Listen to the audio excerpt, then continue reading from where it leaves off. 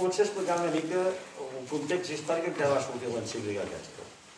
Els que són greus ho sabem de sobre, els més joves potser no ho saben tant. A la dècada dels anys 50 i 60, el món estava dividit en dos grans blocs. El bloc comunista capitanejat per Moscou i el bloc, i el bloc capitalista capitanejat per Estats Units. Cadascun d'aquests blocs tenia una sèrie de països que li donaven suport, i en deien països alineats, o sigui, estaven en la mateixa línia d'ells. Cada un d'aquests blocs s'equipava amb armament poderós, sobretot amb armament nuclear, i s'amenaçaven constantment els uns als altres. Es vivia en el convenciment i en la por que en qualsevol moment podia estallar un enfrontament militar de conseqüències terribles. La cursa d'armaments va arribar a tal extrem que va, va sembrar de por, va sembrar la por i el terror a tota la humanitat.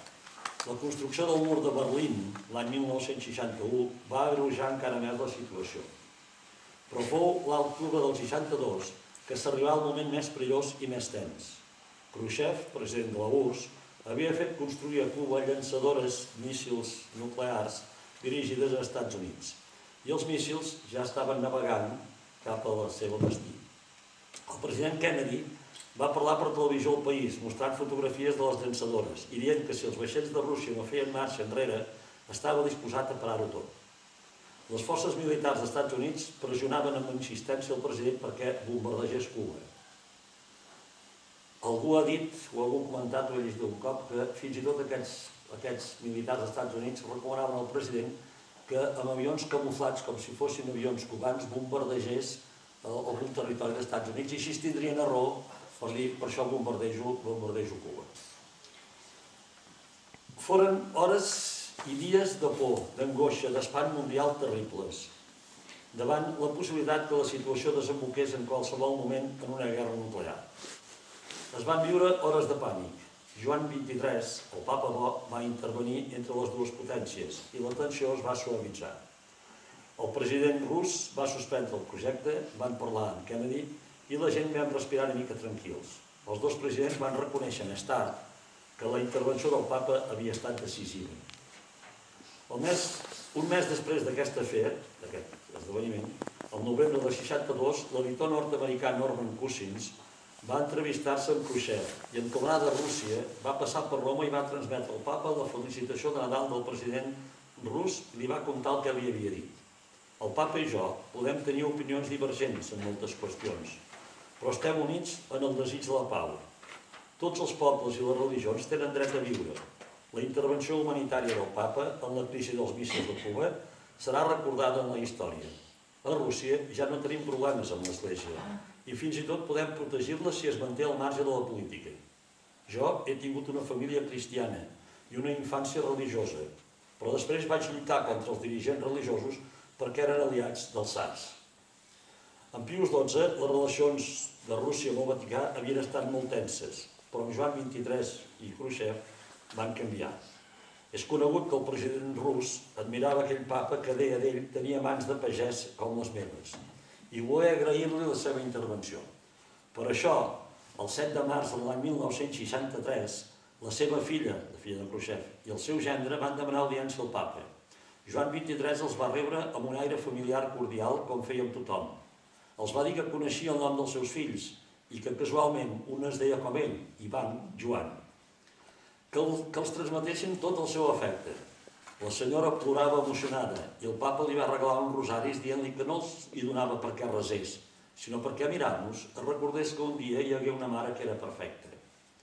I el gendre que plantejà al papa la possibilitat d'establir relacions diplomàtiques entre Rússia i el Vaticà li va dir Déu va crear el món en sis dies, ara som només el primer, ja, ja veurem com arribem més endavant. Però aquesta audiència però per aquesta audiència van abundar les crítiques al papa dins i fora del Vaticà. Ell va respondre, jo he de rebre tothom que truca a la meva porta. Tant l'Observatori Romano, el diari oficial del Vaticà, com la Civilitat Catòlica, una altra revista molt lligada amb, el Vaticà, amb la Cúria Vaticana i el Vaticà, van ignorar la visita. El papa va, va demanar que es publiqués l'informe del que s'havia parlat, però no fou escoltat. I es va queixar dient un desig del papa quan jo era anunci patriarca, era llei. I des de la premsa italiana de dretes i de sectors del Vaticà es va acusar el papa d'haver afavorit el Partit Comunista Italià, que a les, a les eleccions següents del mes d'abril del 63 van guanyar molts vots. Davant d'aquestes acusacions, el papa va comentar Sovint em trobo més a gust amb un ateu o amb un comunista que no pas amb alguns catòlics fanàtics. L'Església pot tenir molts enemics, però l'Església no ha de ser enemiga de ningú. Kennedy volia també donar-li les gràcies personalment passant per Roma, en el seu viatge que va fer a Berlín a finals de juny, però el papa havia mort ja uns mesos abans. Origen de l'encíclica. A mig, a mig mes de novembre de l'any 62, poc més després de la fe de Rus, del, dels míssils, els metges van diagnosticar al papa que li quedaven pocs mesos de vida, degut al càncer que patia. Ell ho sabia. Convençut que les seves paraules havien estat escoltades i decisives en aquell moment tan crític i que els dos presidents antagònics havien vist en ell un fidel representant dels anels de la humanitat que desitjava la pau, decidí escriure l'encíclica Passion Internis, Pau a la Terra. Sabent, doncs, que li quedava poc temps de vida, posà mans a l'obra amb l'ajuda de Pietro Pavan, un sociòleg extraordinari i expert en doctrina social de l'Església, professor a la Universitat de la Referència de Roma i persona de tota la confiança del papa. Però, com diu Mons Pavant mateix, l'encíclica, el seu enfocament, la seva estructura, la seva metodologia, són totalment del papa. I ell només va fer algunes aportacions. El primer esborrany va passar, com de costum, per la Secretaria d'Estat, el Sant Ofici i altres oficines del Vaticà. La Cúria li recriminà que, havia, que hi havia discontinuïtat amb els documents dels papes anteriors respecte al socialisme i al comunisme, i que això crearia molta confusió entre els cristians catòlics i, per tant, que era millor no publicar aquella encíclica. Es vivia llavors en les altres esferes eclesiàstiques i en molts ambients de l'Església un clima fortament anticomunista. Els documents de Pius XII havien estat molt, molt durs contra aquesta ideologia i fins i tot havia dictat excomunió pels afiliats al Partit Comunista. Només el papa va veure que era el moment oportú en contra del seu entorn, on els altres hi veien foscor i tempestat, i ell hi veia llum i esperança. Mai va escoltar els profetes de calamitats, com digué en el discurs inaugural del Concili Vaticà II. L'escriptor Henri Fresquet va recollir aquesta frase de Joan 23. És necessari que sortim del nostre gueto.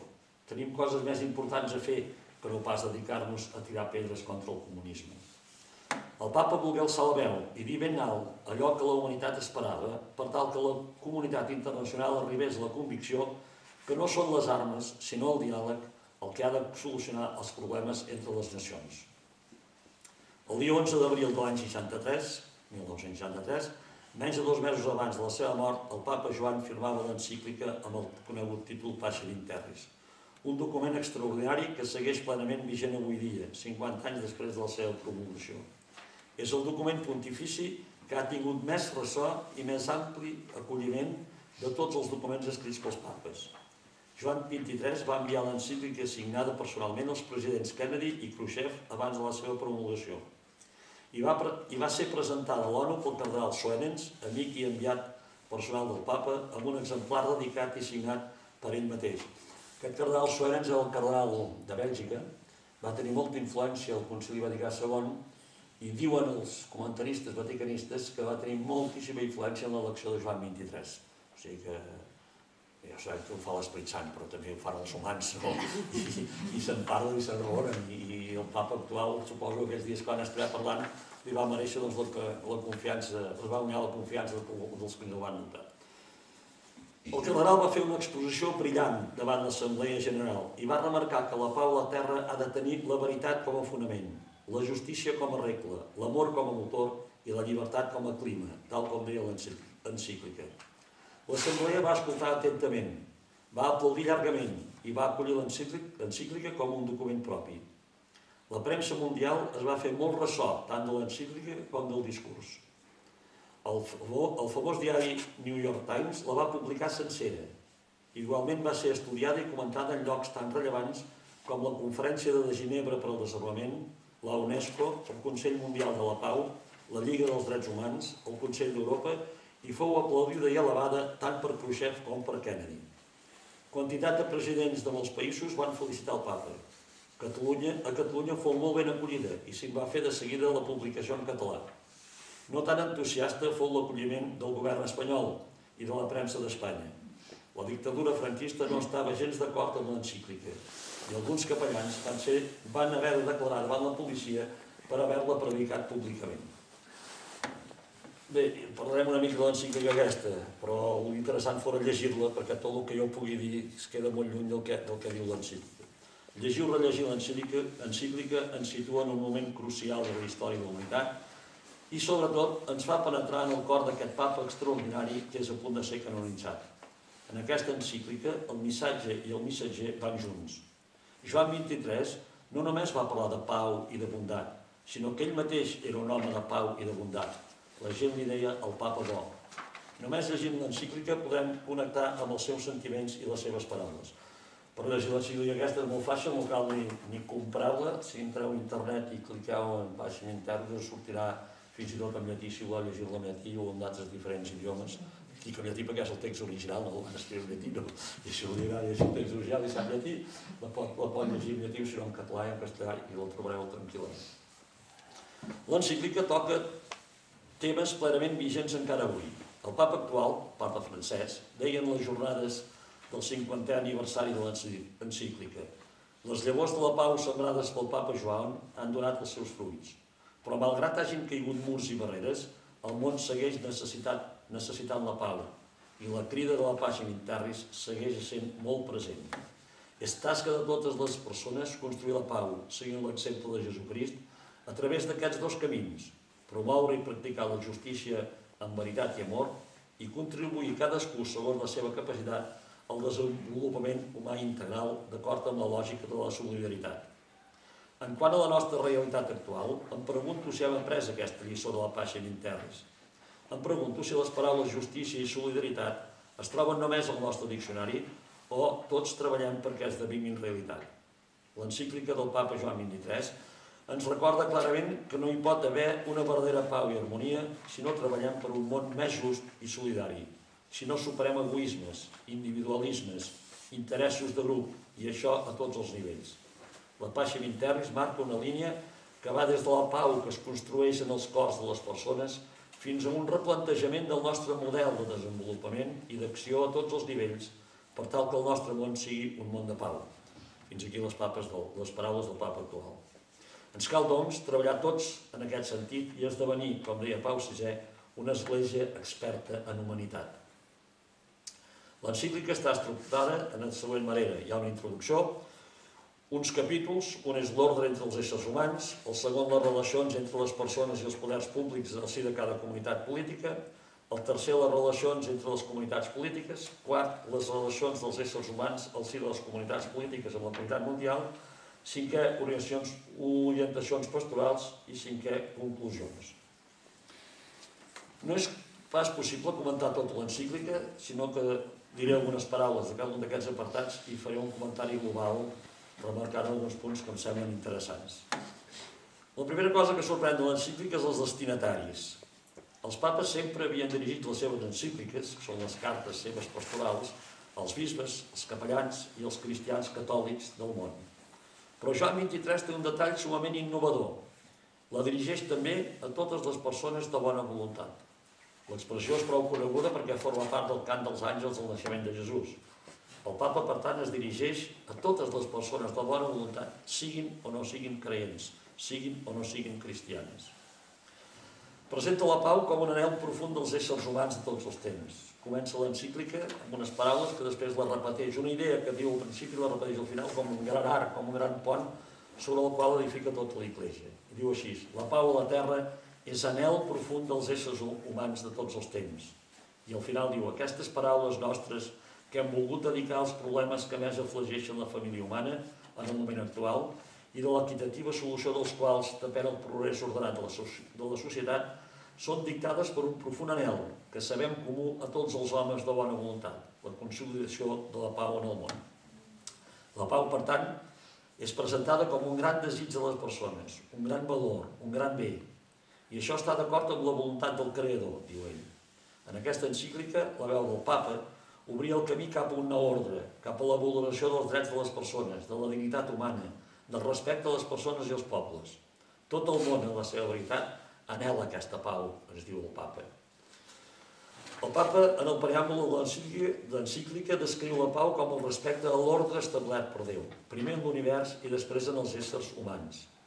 L'ordre de la natura i de les persones humanes mostren la grandesa de Déu creador. La pau es fonamenta en la dignitat de la persona humana, ens diu ell. Aquesta idea de la dignitat de la persona és un eix transversal de tota, tota l'encíclica. Hi ha un ordre físic hi ha un ordre moral cridats a reflectir mútuament la grandesa del Creador però malauradament mostren també de vegades la pugna estrident i el desordre entre els éssers humans i entre els pobles. Contrast que sols es pot resoldre amb l'ordre entre els éssers humans i la il·luminació de la consciència humana tenint present que aquesta llum només pot venir de Déu. El primer, per tant, és l'ordre entre els éssers humans. I comença dient tot ésser humà és objecte de drets i de deures. El fonament d'una convivència humana i fecunda és el principi que tot ésser humà és persona dotada de drets i de deures, que brollen de la seva mateixa natura i que són universals, inviolables, inalienables. I si a més considerem la dignitat de la persona humana a la llum de les revelacions, diu el papa, aleshores aquesta apareixerà incomparablement més gran, ja que totes les persones han estat redimides per la sang de Jesucrist i són fills de Déu i han estat, han estat constituïdes hereus de la glòria eterna. L'ordre entre els éssers humans, primer tot els drets.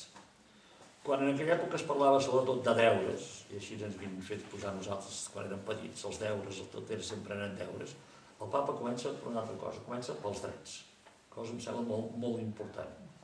L'encíclica parteix del dret a l'existència, que és la base de tots els altres drets, i fa una llarga enumeració dels drets de tota persona, tot ésser humà té dret a l'existència, a la integritat física, als mitjans indispensables per a un nivell de vida digne, alimentació, vestit, habitatge, descans, atenció sanitària, serveis socials, seguretat en cas de malaltia, d'invalidesa, de viudetat, de bellesa, d'atur en el treball. Tot ésser humà té el dret té el, el dret al respecte de la seva persona, a la bona reputació, a la llibertat de cercar la veritat, de manifestar i difondre el seu pensament, de cultivar l'art, dret a l'objectivitat en la informació, a participar en els béns de la cultura, a una instrucció bàsica i a una formació tècnica i professional adequada. Cadascú té dret d'honorar Déu segons el dictamen de la seva consciència, de, de culte, amb el culte privat i amb culte públic. Dret a la llibertat en l'elecció del propi estat, en paritat de dret entre home i dona, la família fonamentada en el matrimoni, contret lliurement, és i ha de ser considerada el nucli natural i essencial de la societat. D'aquí es dedueix que s'ha de parar atenció als aspectes de naturalesa econòmica, social, cultural i moral que en consoliden l'estabilitat i en faciliten l'acompliment la seva missió específica. Dret de lliure iniciativa en el camp econòmic i el dret al treball, aquests drets va indissolublement, indissolublement unit al dret a condicions de treball no nocives a la salut física i no perjudicials al treballador. Dret a condicions de treball conciliables, quan fa la, la, la, la dona, dret a condicions de treball conciliables amb les seves exigències i amb els seus deures d'esposa i mare. De la dignitat de la persona humana brolla també el dret a desplegar les activitats econòmiques, el dret a una distribució de treball determinada segons els criteris de justícia, retribuïda segons els criteris de justícia i suficient per permetre al treballador i a la seva família un nivell de vida conforme a la dignitat humana. Dret a la propietat privada sobre els béns, però unit també a una funció social. O sigui, no només tenir, sinó que recordi que el qui té, té també el deure d'ajudar els altres. Dret a la reunió d'associació. Tot, tot ésser humà té dret a la llibertat de moviment i de residència dins la comunitat política de la qual és ciutadà. I té també el dret, quan, interessos legítims ho aconsellen, d'emigrar a altres comunitats polítiques i d'establir-s'hi. Més endavant tornem a parlar d'això vos diré algunes paraules que em semblen que són interessants en aquest sentit de, de, dels ciutadans que puguin anar d'un lloc a un altre. De la dignitat de la persona humana prové el dret de prendre part activa en la vida pública i de contribuir personalment a la consecució del bé comú, i més drets que va enumerant. L'ordre dels drets humans, en l'ordre dels drets humans hi ha també els deures. Joan 23 remarca que els drets, els drets hi corresponen uns deures tan importants com els drets. El papa remarca la correlació indissoluble que hi ha entre drets i deures en la mateixa persona. Aquí és subjecte de dret, li correspon també el deure d'exercir-lo, i d'obtenir-lo. i en els altres el deure correlatiu de reconèixer-lo i de respectar-lo. Els deures són fonamentalment respectar els drets dels altres. I aquesta idea és molt maca. Quins són els meus deures? Respectar els drets dels altres. I això penso que és molt, molt cristià, no? Aquí és objecte del dret i correspon també el deure d'exercici. La convivència humana exigeix viure els uns amb els altres, tot procurant el bé dels altres i el reconeixement dels drets i dels deures mutus. Aquí el papa formula el principi que la convivència ha de ser considerada sobretot com un fet espiritual. I per això no sols és necessària la disponibilitat per sentir com a pròpies les necessitats, necessitats dels altres, sinó de posar l'amor com a motor, la veritat com a fonament, la justícia com a regla i la llibertat com a clima. Aquests han de ser els pilars constructius de l'ordre i la pau entre les persones, entre els pobles i entre les nacions. Tota aquesta visió ens porta al mateix objectiu. L'ordre i la pau tenen profundament Déu. Al final de cada apartat, el papa remarca uns fets importants que ell anomena signes dels temps, que interpel·len d'una manera especial la fe cristiana, l'expressió de l'Evangeli, Jesús diu als, als fariseus, vosaltres doncs sabeu interpretar l'aspecte del cel i no sou capaços d'interpretar els signes dels temps, referint-se a ell mateix, no? I aquesta expressió dels signes dels temps, Joan 23 la, la feia servir molt, i el Concili Vaticà II la va recollir en la Constitució Gaudium Espès dient L'Església té permanentment el deure d'escrutar els signes dels temps i d'interpretar-los a la llum de l'Evangeli, talment que d'una manera acomodada a cada generació pugui respondre als interrogants perennes de les persones sobre el sentit de la vida present i de la futura, sobre la relació de l'un amb l'altre. Cal doncs conèixer i comprendre el món en què vivim i també les seves esperances, les seves aspiracions i el seu caràcter sovint dramàtic.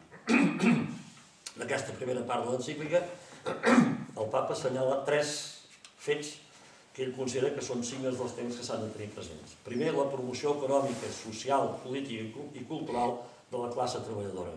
Si mirem la classe treballadora anys enrere, abans dels 50, estava molt més explotada que no pas ara. I actualment la classe treballadora, encara hi ha molt camí progressat, però ha progressat moltíssim. I això a ell li sembla que és un signe positiu dels temps.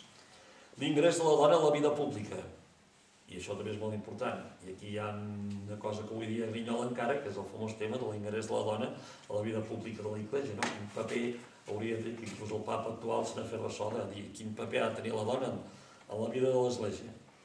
Tercer, tercera senyals, signes dels temps, la transformació de la societat amb el naixement en molts pobles de la consciència autonòmica i superació del colonialisme i del racisme. O sigui, aquesta idea de nacionalismes que tant s'ha anat sortint, i en el nostre país concret en aquest moment, és molt viu, també surt en l'encíclica aquesta. Un altre és, un altre tema, un altre capítol, les relacions entre les persones i els poders públics en el si de cada comunitat política. Aquí l'encíclica posa, parteix del principi que la convivència humana exigeix l'autoritat i que això és volgut per Déu. Però això no prejutja ni la llibertat d'elecció dels seus titulars ni de les estructures en què cal que exerceixen l'autoritat. Qualsevol forma de règim gratuït, genuïnament democràtic, és compatible amb aquests principis. Aquí es tracta de, de la prim i no afirmar, no entendre que unes determinades persones siguin posades per Déu directament. No. Que vol dir és que hi hagi, que hi hagi autoritat, i que la, societat funcioni així. Aquí al nostre país en tenim una trista experiència amb els diners que van deien Caudillo d'Espanya per la gràcia de Dios. Hi havia un bisbe a Lleida, deia Monsenyor del Pino, molt franquista, que va rebre el Franco, el cardenal de Lleida, i va llegir aquest text de l'Evangeli que diu hi hagué un home enviat per Déu el nom del qual era Joan, que diu l'Evangeli. I ell va dir, hi hagué un home enviat per Déu el nom del qual és Francisco. I d'aquí va engegar tot el discurs que Francisco era, era, enviat, era enviat per Déu a, a governar Espanya. No, Déu vol que hi hagi autoritats i que actuïn rectament al servei dels altres. La raó de ser l'autoritat és crear, és cercar, afavorir i defensar el bé comú dels ciutadans. I això és molt, molt important. Penso que és capital. No? De qualsevol autoritat és afavorir, cercar, afavorir i defensar el bé comú dels ciutadans. Aquí trobem un altre eix transversal de tota l'encíclica, el tema del bé comú. L'autoritat queda justificada pel bé comú dels seus súbdits. Si l'autoritat no busca el bé comú dels ciutadans, sinó que busca altres interessos, ella mateixa queda desautoritzada. El seu deure és la recerca i defensa del bé comú en tots els ciutadans, i no només d'uns quants. Ha d'harmonitzar i regular els drets dels ciutadans. Ha de crear un ambient humà apte per al desenvolupament del bé comú. I això tant en el sector econòmic, social i cultural com en el de la vida pública i jurídica. I es descriu les exigències del bé comú i els seus elements essencials que es resumeixen, es resumeixen en aquelles condicions socials que, que consenten i afavoreixen el bé comú, la realització del bé comú en tots els ciutadans i el compliment de tots els seus deures. Com a signes dels temps d'aquest apartat, el papa hi posa les cartes dels drets humans que han aparegut al llarg d'aquests últims segles de l'ONU i d'altres constitucions de països que parlen dels drets humans i ell pensa que això és un, un gran avenç que això sortirà a les constitucions dels pobles. Un altre capítol és les relacions entre les comunitats polítiques. Aquesta part de l'encíclica tracta especialment del respecte a la personalitat col·lectiva dels grups socials constituïts en comunitats polítiques. Els quatre valors socials essencials, veritats, just, veritat, justícia, amor i llibertat, que van apareixent al llarg de l'encíclica, en aquesta part, són presentats també com a centres d'interès. L'amor és designat com a solidaritat perquè expressa millor l'actitud comuna i indispensable per solucionar els dos grans problemes tractats aquí, l'ajuda als països subdesenvolupats i la renúncia a la guerra. Cap de les comunitats polítiques té dret a oprimir una altra. Les més desenvolupades econòmicament han d'ajudar les més necessitades i cap no té dret al domini sobre una altra. Aquí inclou també la doctrina dels drets fonamentals dels estats, especialment la defensa dels drets de les minories ètniques, que deia Joan 23. El tractament del tema de les minories ètniques va tenir gran repercussió a Catalunya. Diu així l'encíclica, diu el papa. Hi ha la tendència política que s'ha anat generalitzant segons la qual els grups ètnics aspiren a ser amos de si mateixos i construir una nació. Si això no esdevé possible, es plantegen problemes d'extrema gravetat. Cal afirmar amb tota claretat que tot el que es faci per reprimir la vitalitat i el desenvolupament d'aquestes minories viola greument els deures de justícia Violació, més greu, encara, si aquests criminals atemptats van dirigits a l'aniquilament de la minoria ètnica. Aquesta paraula, la minoria ètnica, Joan Pau II la va canviar i va començar a parlar de nacions i nacionalitats. A més del tema de les minories, sempre actual a causa del creixement del sentit nacional en molts països, aquesta part tracta també dels pròfugs polítics. El tema s'ha anat accentuant avui per la crisi econòmica i per les constants guerres internes i ha pres noves dimensions en travessar continents. Molt recentment el papa francès ha demanat als dirigents polítics que treballin per l'acolliment d'aquests refugiats i desplaçats forçosos per causa de la pobresa i de les guerres. Lampedusa és la vergonya d'Europa, ens va dir el papa francès. Pel com semblant es pot dir de Ceuta i Melilla amb les seves xarxes plenes de ganivetes perquè la gent no puguin passar. No hi ha d'haver ciutadans de primera i de segona, uns en plena llibertat per anar a qualsevol país i uns altres se'ls barren les portes d'entrada a qualsevol país, a tots els països. Quina justícia és aquesta? Això no és respectar els drets dels altres, és una qüestió de dimensions universals que reclama solucions conjuntes. En un món, nostre món, no necessitem barreres, sinó que necessitem solidaritat, acolliment, fraternitat, comprensió. Una actualitat, una actualitat constant, bé que potser s'ho mort a l'opinió pública, és el tema del desarmament. L'armament produïa pànic universal en els temps de la Guerra Freda entre URSS i Estats Units. Però lluny d'estar solucionat, continua ben actual. Cada vegada hi ha més armament i aquest és cada vegada més mortífer i destructiu. Joan XXIII en l'encíclica superar la doctrina clàssica de la justificació de la guerra defensiva. Es justificava la guerra i es considerava guerra justa quan et defensaves. I quan un t'atacava doncs tu tenies dret a fer la guerra per, per defensar-te. No? Joan XXIII això ho esborra pràcticament, supera això. Diu simplement perquè la guerra moderna feia esclatar els límits que encara podien justificar una certa legitimitat. Netament el papa es pronuncià rebutjant la guerra com a mitjà adequat a l'era atòmica per obtenir justícia en una violació dels drets. Les controvèrsies entre els pobles no han de ser resoltes amb les armes, sinó mitjançant el diàleg i negociacions. Aquest és el centre dels signes dels temps que conclou aquest apartat. I diu el següent en els signes dels temps. cada vegada es difon més entre les persones la persuasió que les controvèrsies eventuals entre els pobles no han de ser resoltes recorrent a les armes, sinó mitjançant negociacions. És veritat que en el camp històric aquesta persuasió es troba més aviat en relació amb la força terriblement destructora de les armes modernes i és alimentada per l'horror que suscita en l'esperit tan sols el pensament de les destruccions ingents i dels dolors immensos que l'ús d'aquelles armes ocasionaria a la família humana. Per això resulta absurd en la nostra època, que es glorieja de la força atòmica, que la guerra sigui encara un mitjà apte per reparar els drets violats. Però dissortadament entre els pobles sovint regna encara la llei del temor, Aquí els empenya a fer despeses fabuloses en armaments. No pas per atacar els altres, s'afirma, i no hi ha motiu per no creure sinó per dissuadir-los de l'agressió. És lícit, amb tot, esperar que les persones, retrobant-se i negociant, vagin descobrint millor els vincles que els lliguen, provenents de la seva humanitat comuna, i que descobreixin també que una de les més profundes exigències de la seva humanitat comuna és que entre ells i entre els pobles respectius regni no pas el temor, sinó l'amor, el qual tendeix a expressar-se en la col·laboració lleial, multiforme i reparadora dels molts béns. Un altre apartat, les relacions dels éssers humans en el sentit de les comunitats polítiques amb la comunitat mundial. Pot semblar estrany i arriscat que un papa consagri una part de la seva encíclica a exposar la seva concepció de l'organització mundial del món. Si veu afavorit perquè Pius XII el va força i també va seguir en aquesta línia.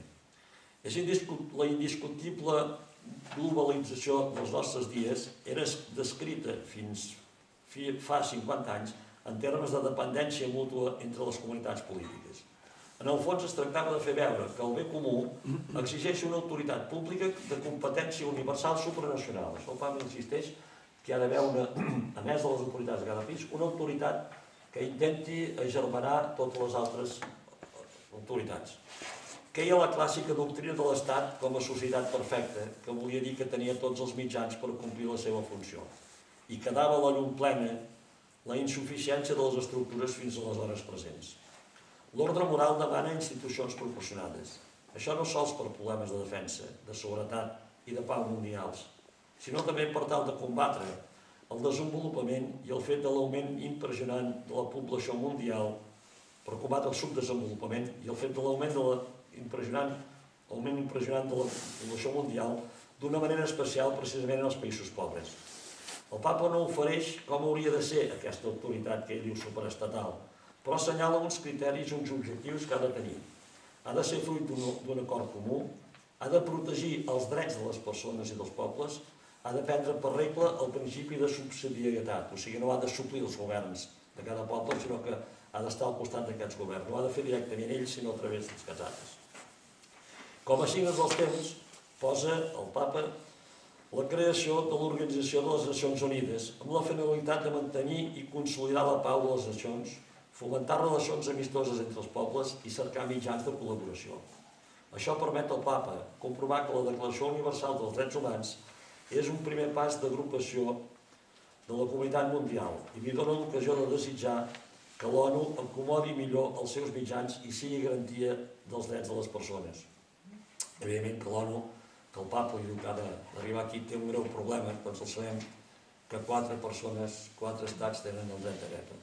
I, esclar, i són els quatre que van guanyar, no? són els quatre guanyadors de la guerra europea, aquests poden disposar. I aquests quatre tenen el privilegi també d'elegir el secretari general de l'ONU, perquè si ells diuen que no, aquell no passa. No? Evidentment, fins que no tothom tingui el mateix vot i veu en aquesta organització, tampoc no serà massa efectiva.